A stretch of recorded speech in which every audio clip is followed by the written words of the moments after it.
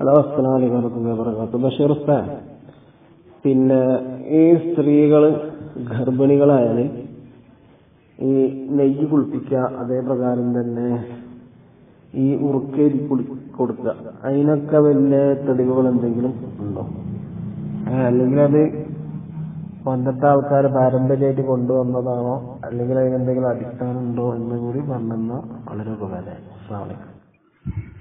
വലൈക്കും അസ്സലാം വറഹമത്തുള്ള.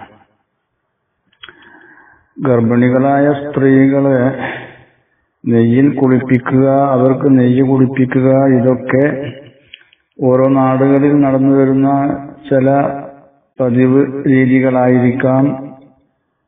അതിന് ശറയിൽ പ്രത്യേകിച്ച് തടസ്സങ്ങളൊന്നും ഇല്ല. അതുപോലെ ഖുർആനായത്തുകൾ പാത്രത്തിൽ എഴുതി കുടിക്കുക. അത് പല രോഗങ്ങൾക്കും ശിഫയാണ് എന്ന കാര്യവും അറിയപ്പെട്ടതാണല്ലോ. ഈ നിലയ്ക്ക് ചെയ്തു വരുന്നതിൽ ഗർഭിണികളായ സ്ത്രീകൾക്ക് ചെയ്യുന്നതിൽ പ്രത്യേകിച്ച് വിരോധം ഏതായാലുമില്ല അവർക്ക് അത് അവരുടെ ഗർഭവുമായി ബന്ധപ്പെട്ട പല പ്രയാസങ്ങൾക്കും പരിഹാരമാകും എന്ന കാര്യത്തിൽ തർക്കവുമില്ല. പല ഗ്രന്ഥങ്ങളിലും ഗർഭിണികൾക്ക് എഴുതിക്കെട്ടാനും അതുപോലെ പ്രസവം പ്രയാസമായവർക്ക് എഴുതി വെള്ളം കുടിപ്പിക്കാനും ഒക്കെയുള്ള നിർദ്ദേശങ്ങൾ വന്നു കാണുന്നുണ്ട്.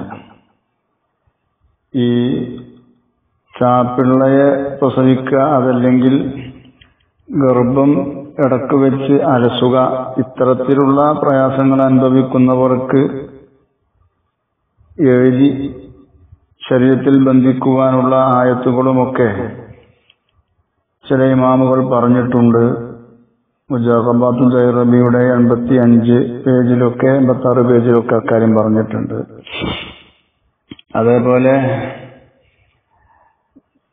ഒരു സ്ത്രീക്ക് ഗർഭമുള്ള സ്ത്രീക്ക് പ്ര- പ്ര- പ്ര- പ്രസവം പ്രയാസകരമായി വന്നു കഴിഞ്ഞാൽ ഒരു പാത്രം ശുദ്ധമായ പാത്രം എടുത്ത് അതിൽ ചില ആയത്തുകളൊക്കെ എഴുതി അത് അവളെ കുടിപ്പിക്കുവാനും അവളുടെ ശരീരങ്ങളുടെ ചില ഭാഗങ്ങളിൽ തെളിക്കാനുമൊക്കെ ഉള്ള നിർദ്ദേശം.